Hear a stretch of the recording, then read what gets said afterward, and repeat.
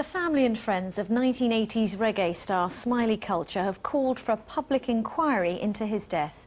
The singer, whose real name is David Emmanuel, died on Tuesday during a raid on his home by the Metropolitan Police.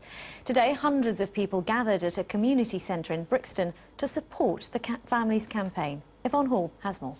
Considering um, Smiley's death um, took place under very, very suspicious and spurious circumstances, why have all the police officers involved not been removed from all their right. posts? Anger and frustration among the hundreds of people supporting the call for a public inquiry into Smiley Culture's death. As a family, we are in a state of shock and confusion, and we are determined to search for the truth of what happened on the morning of 15th of March 2011, a day that will now be forever etched in our minds.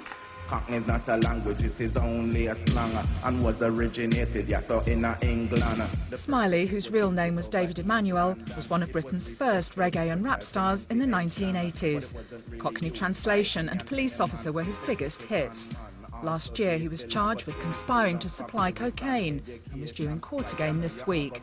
Then, two days ago, Met officers raided his home. This was Smiley Culture's house in the village of Warlingham in Surrey's stockbroker belt. It was here on Tuesday morning that police officers carried out their raid and Smiley died. His family say they've been told Smiley stabbed himself in his kitchen after being allowed to make a cup of tea during the raid A post-mortem examination has concluded he died from a single stab wound to his heart. An investigation by the Independent Police Complaints Commission is underway. Today, Smiley's friends and fans said they're still in shock and are desperate for the truth.